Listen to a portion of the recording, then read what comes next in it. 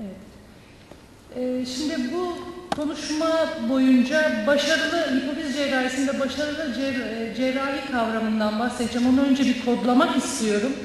Burada bir endokrinolog, endokrinolog olarak kastettiğimiz mümkün olduğunca çok tümöral dokunun çıkarıldığı, ek nörolojik hasarın verilmediği ve sağlam dokunun korunduğu cerrahiyi kastediyoruz.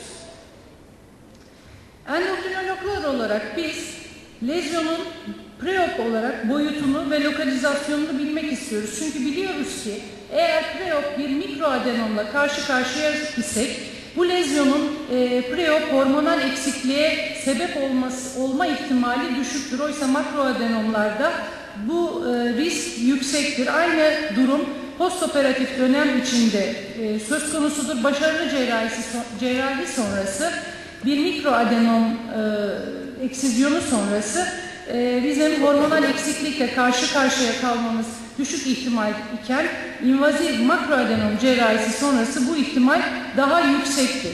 Yine preop eğer acil cerrahi endikasyon e, acil cerrahi endikasyonlarla hastayı cerrahiye sevk etmemiş isek mutlaka preop endokrinolojik durumu bilmek isteriz. Çünkü ee, örneğin bir Cushing hastalığı postoperatif dönemde yüksek tromboemboli riskiyle karşı karşıyadır. Bir akromegali hastasının intraoperatif entübasyonu zor olabilir. Yine bu hastalar postoperatif dönemde e, ventilasyon, mekanik ventilasyon ihtiyacı daha uzun süre gösterebilirler. Örneğin bir TSH olma vakası eğer preoperatif dönemde iyi değerlendirilip e, hazırlanmaz ise cerrahiye intraoperatif aritmi riskiyle karşı karşıyadır. Operasyon sonrası biz mutlaka operasyon raporunu okumak isteriz. Reze, rezeksiyon genişliğini bilmek isteriz. Adenom selektif mi alınmış? Normal hipofiz dokusuna dokunulmuş mu? Yaklaşım şekli nasıl? Transfenoidal cerrahiyle mi yaklaşılmış? Yoksa e, kraniotomiyle mi yaklaşılmış bilmek isteriz. Çünkü bu postoperatif dönemde bizim ne kadar süreyle e, stres dozunda glukokortikoid e, vermemiz gerektiğini de söyleyen bir durumdur. Patoloji raporunu bilmek isteriz yine. Arka hipofiz dokusu gelmiş mi? Normal hipofiz dokusu var mı? Adenomun immünhistokimyasal olarak boyamasını da boyama sonucunda çoğu zaman merak ederiz. Lezyon bize preoperatif dönemde klinik sessiz gelebilir klinik olarak. E, yaptığımız e, testlerimiz, e, tavsiye edilen testlerimiz bunlardır. Eğer lezyon klinik olarak tanı koydurucu ise genellikle Cushing hastalığı ve akromegali dışında çok dinamik test yapmayız. Benim bugün ağırlıklı olarak şu dönemi özellikle konuşmak isteyeceğimi, konuşacağımı bildirmek isterim. Tabii hipofiz cerrahisinde en önemli aks HPA, hipotalamo hipofizer adrenal aks çok önemli. Bu aksın mutlaka değerlendirilmiş olması gerekli preoperatif dönemde. E, aks bu aks üç senaryoyla e, farklı senaryoyla bize prezente olabilir. Hastanın kortizolü düşük olabilir. Hastanın kortizolü normal, aksı normal olabilir ya da daha olayın başında ASTH salgılayan bir e, kortikotrop adenomla karşı karşıya olabiliriz. Yani Cushing hastalığıyla karşı karşıya olabiliriz.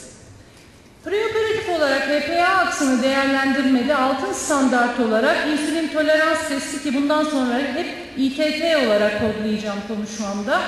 İnsülin tolerans testi tavsiye edilmektedir. Bu test ile hepimizin bildiği gibi ta hipotalamustan başlayarak son organa kadar e, tüm aksı değerlendirebilmek mümkündür. Ama pek çok yazarın söylediği bu testi postoperatif dönemde de yapmak gerekeceğinden bu hasta için ve bizim için zor olabilir denmektedir. Bu yüzden pek çok merkezde kısa ASTH uyarı testi yani hepimizin bildiği sinakten testi e, önerilmektedir. Yapılan çalışmaların gösterdiği şudur ki uzun dönem ASTH yetmezliğinde e, yapılan 250 mikrogram ile yapılan sinakten testinin sonuçları insülin tolerans testi sonuçlarıyla ciddi bir korelasyon göstermektedir. Bu yüzden bu test preoperatif dönemde kullanılabilir denmektedir.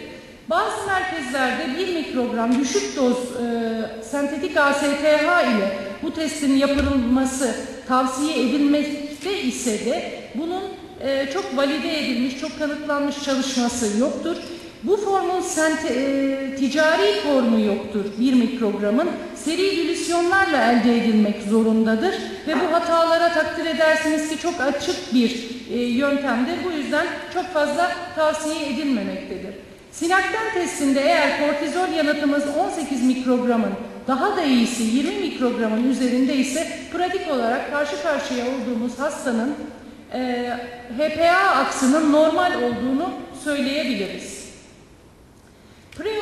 Dinamik test yapalım sorusunun yanıtı literatürde genel olarak şöyle denmekte. Eğer hastanızın 3.6 ile 16 mikrogram desilitre arasında bir bazal kortizol seviyesi var ise bu hastanın dinamik teste ihtiyacı vardır denmektedir. Ee, yeni ülkemizden yapılan bir çalışmada da bu e, sıkıntılı aralığın 6 mikrogramla 18 mikrogram arasında olduğu serum bazal kortizolü için söylenmekte. Kısa ASTH testi yaptığımız olgu 250 mikrogram yaptıktan sonra e, 60. dakikada ölçtüğümüz kortizol değerimiz eğer 18 mikrogramın altındaysa bu kişinin e, HPA aksının baskılı olduğu, cerrahide sıkıntı yaşayabileceğini kesin olarak söyleyebiliriz ve bu hastanın mutlak suretle desteğe ihtiyacı ihtiyacı vardır ve e, ilk 48 saat destekledikten sonra postop 3-5. gün arası sabah 8 kortizolüne ihtiyaç kortizolü ölçümüyle aksın postoperatif dönemdeki durumunu değerlendirmek mümkündür. Eğer hastanın 18 mikrogramın üstünde bir değeri varsa bu test sonucu hastanın aksı sağlamdır ve hasta eğer selektif bir adenomektomi yapıldıysa yani başarılı cerrahi yapıldıysa hastaya denmektedir ki postoperatif dönemde desteğe de gerek yoktur. 1 ile 3. gün sabahı hastaya bir kortizol ölçümü yapmak yeterlidir. Eğer cerrahimiz sorunlu geçtiyse, büyük invaziv bir cerrahi olduysa e, hastayı yine bu protokole taşımak gereklidir. HPA aksı baskılıysa preoperatif dönemde ne kadar glikokortikoid vermeliyiz sorusunun yanıtı ise yapılmış olan cerrahisinin süresi ve büyüklüğüyle alakalıdır. E, Türk e, kaynaklarda hipofiz cerrahisi orta büyüklükte bir cerrahi olarak tanımlanmaktadır ve her 8 saatte bir yaklaşık 50-75 mg postoperatif dönemde e, glikokortikoid ihtiyacı olduğu e, söylenmektedir. Bu hastalarda destek verilmelidir ve bu destek cerrahi öncesi 2 gün 2 saat içinde başlamalı ve postoperatif en azından 48 saate kadar devam etmektedir, etmelidir. E, postoperatif 48 saatin açıklaması da şöyle yapılmaktadır. Nasıl postoperatif dönemde insülin direnci olmaktadır? Bu hastalarda ilk 48 saat bir glukokortikoid direnci olmaktadır. Cerrahiye bağlı olarak açığa çıkan sitokinler glikokortikoid reseptör afinitesinde değişikliğe neden olmaktadır denmektedir. Postoperatif dönemde hastanın aksını değerlendirdiğimizde bazal kortizol değerlerine göre baktığımızda eğer hastamızın e, bu biraz önce bahsettiğim özel zaman noktalarında baktığımız kortizol değeri eğer 3'ün altındaysa bu hastanın neredeyse kesin olarak ASTH eksikliği vardır. Bu hastaya postoperatif dönemde dinamik test yapmaya gerek yoktur. Mutlak suretle idame e, steroid ver, verilmelidir. Eğer hastanın 16 mikrogramın üzerinde bir e, bazal kortizolü var ise hastanın aksı normaldir. Herhangi bir desteğe ihtiyacı yoktur. 3 ile 16 arasındaki değerler sıkıntılı değerlerdir. Eğer 3 ile 9 arasındaysa destek gereklidir. Eğer 3 ile 16 arasındaysa bu hasta günlük hayatını idame ettirebilir desteksiz olarak ama stres anında sıkıntı yaşayabilir. Bu hastayı 7. günde tekrar bir e, serum bazal kortizolünü tekrar edin denmektedir. Özellikle makroödenom cerrahisi sonrası e, şöyle bir e, kavramdan bahsedilmekte. Cerrahi öncesi kitlenin basısına bağlı CRH akışında kesinti olmaktadır.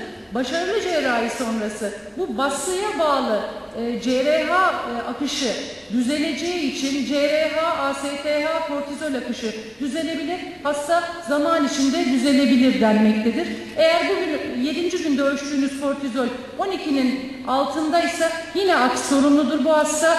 Postoperatif dönemde yapacağınız o dinamik testlere yine yetersiz cevap verecektir denmektedir.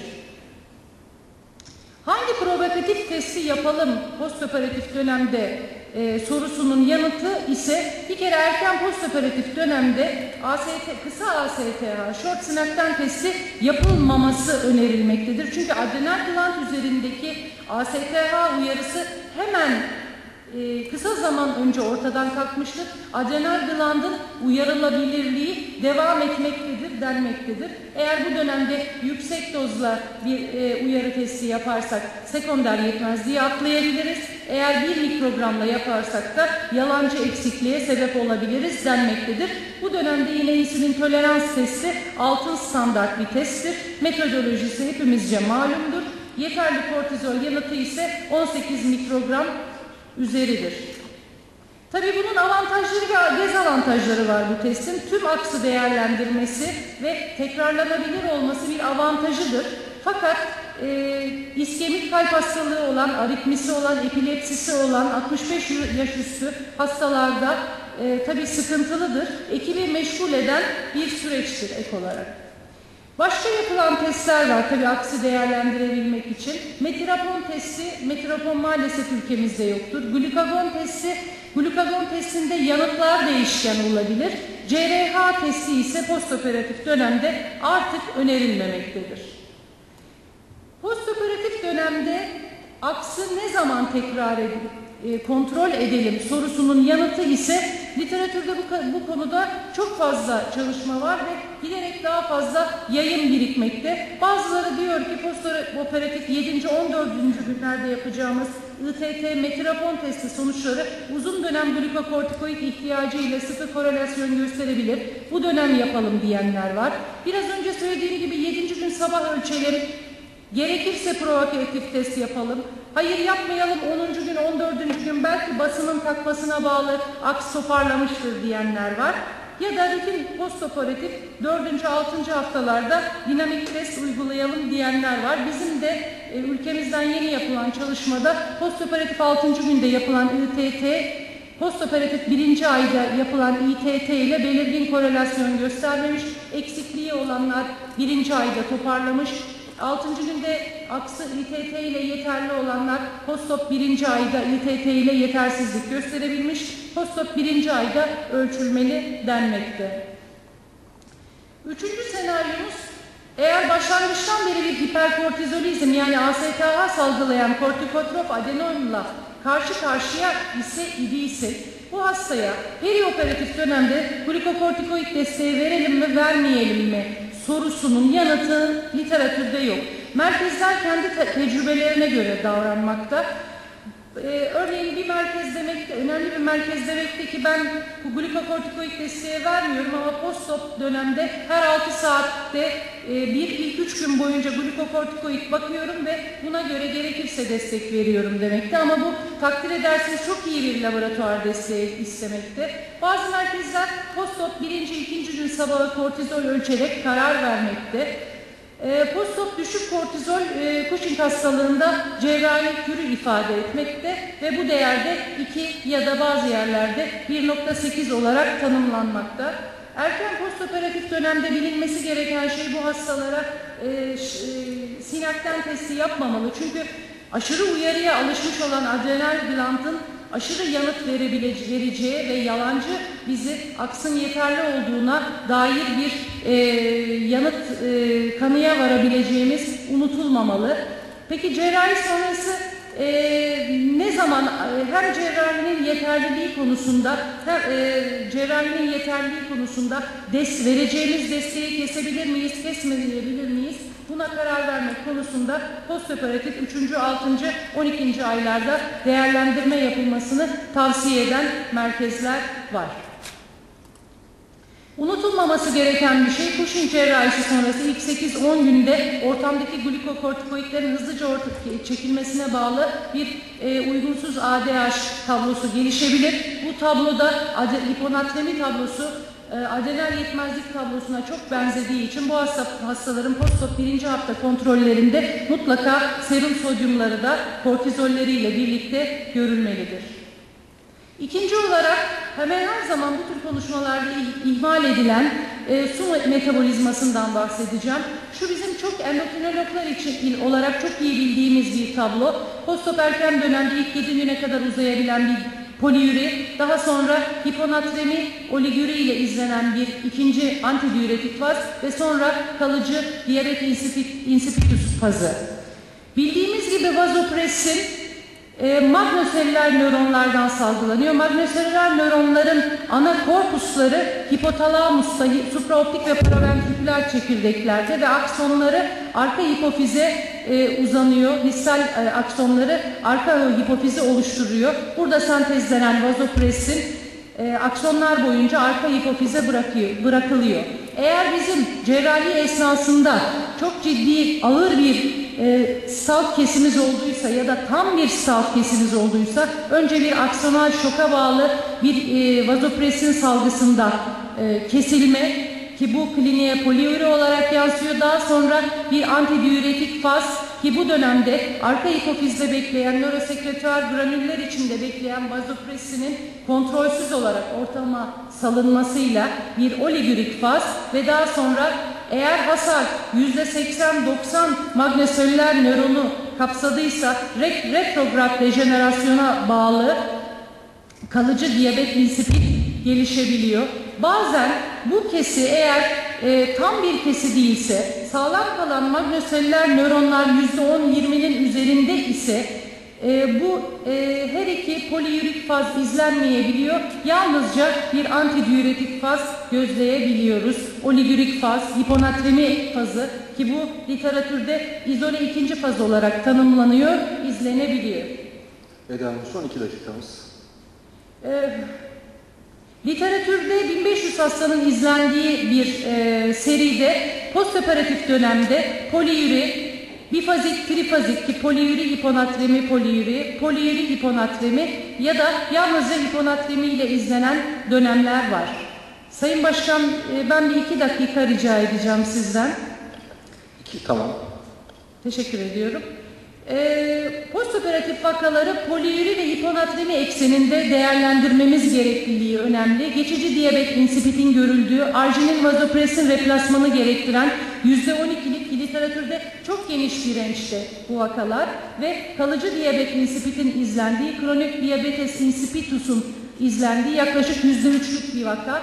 Hiponatremi izole erken fazda görülebiliyor. Bu cerrahinin yarattığı strese bağlı, bulantıya bağlı, e, bulantı gibi semptomlara bağlı bir ya da verilen o dönemde kontrolsüz hiponatremik sıvılara bağlı bir e, e, hiponatremi olarak yansıyabiliyor ya da e, diğer bu fazla poliürik e, po- e, diyabet insipidin her iki fazının görüldüğü birbiri içine geçmiş faz olarak değerlendirebilmek mümkün.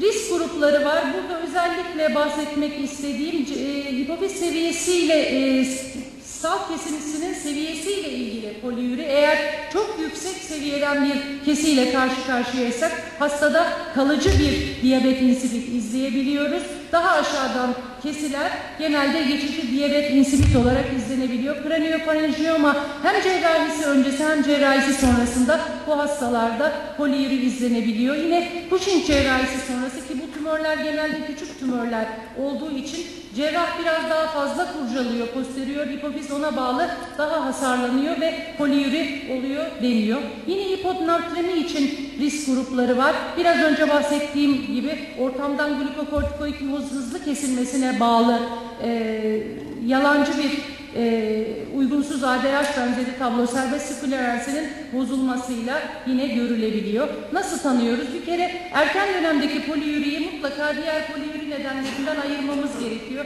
Acaba intraop verilen fazla sıvı mı atılıyor? Ya da hastaya glukokortikoid desteği veriyoruz. Hastanın hiperglisemisi mi var? Mutlaka hastanın bir kan glukoz değerini ölçmemiz gerekiyor. Yakın AÇT takibi yapıyoruz. Eğer hastanın poliürisi hiponatremiye yatkınlık gösteriyor, hastanın soğuk su içme isteği varsa ki ozmoreseptör uyarısını gösteriyor bu. Ee, İdrar densitesi düşük, ozmolaritesi düşük, serum ozmolaritesi artma eğilimindeyse, serum sodyumu yükselme eğilimindeyse evet diyoruz bu diyabet insipid ve destek veriyoruz ve hastanın eğer toparlayamıyorsak dozu tekrar etmemiz tavsiye ediliyor. Bu arada mutlaka hastaya bizim iatrojenik hiponatremi yaratmamamız için de ya da hastanın seyri esnasında hiponatreminin gelişebileceğini de düşünerek sıkı sodyum takibi yapıyoruz. Takipte mutlaka e, haftada bir kez dezmopresin dozunu geciktiriyoruz ya da özellikle gece dozunu atlıyoruz. Eğer hastanın noktürisi yoksa deniyor ki bu hastada diyabet insipid düşünmeyin dezmopresini kesebilirsiniz deniyor ve yakın sodyum takibi yapıyoruz. Bir diğer bahsedeceğim akromedaliden bahsedeceğim. Postop durumu karşılaştırma için mutlaka preop growth hormon değerini bilmemiz gerekiyor. Yarı ömrü kısa postop bir ikinci gün sabah ölçebiliyoruz. Ama hepimizin bildiği gibi e, IGF-1 ölçümünü en az 3 ay sonra yapıyoruz. Ve yüksekse IGF-1'imiz postop 3. ayda dinamik testi yapıyoruz. IGF-1'imiz normal değerlerde geliyorsa eğer bu hastaya gonadotrop desteği, e, seks hormonu desteği yapıyorsak, bunu oral östrojen destekliyorsak bunun yalancı bir IGF-1 düşüklüğü olduğunu mutlaka hatırlamamız gerekiyor. Kür kriterleri de daha henüz yeni e, revize edildi hepimiz biliyoruz. Bu akromedali de biliyorsunuz growth hormon proksimal tübülden sodyum tutan bir hormon. Bu yüzden bu hastalarda postoperatif dönemde bir poliüri görüyoruz. Eğer bu poliüri, poliüri susamayla birlikte değilse, hipernatremi gelişmiyorsa, özgürlüğü düşük ise diyor, deniyor ki bu e, ortamdan growth hormonun hızlı çekilmesine bağlıdır. Tiroid hormon aksı, tiroid destek veriyorsak, postop aksı merak ediyorsak mutlaka LT4 desteğini bir 6-8 hafta kesmemiz gerekiyor. Ama preop replas- replasman vermiyorsak ve eğer büyük bir cerrahi de yapılmadıysa örneğin total hipobizektomi gibi postoperatif e, 6. haftada aksa bakmamız gerekiyor ama invazif bir cerrahi yapıldığı için serbest S4'ün dolaşımdaki yarı ömrü 7 gün olduğu için yaklaşık bir hafta sonra aksı kontrol etmek gerekiyor. TSH olmalar postop birinci gün sabahı aksı değerlendirmek ama preop hazırlanmak gerekiyor. Pronarktinoma, non-fonksiyonel adenom, e, gonadotrop replasmanı ve postop growth hormon replasmanından bahsetmek ise e, zaman sınırlaması nedeniyle bugün gündeme alamayacağımız durumlar. Benim anlatacaklarım bu kadar. Dikkatiniz için çok teşekkür ederim.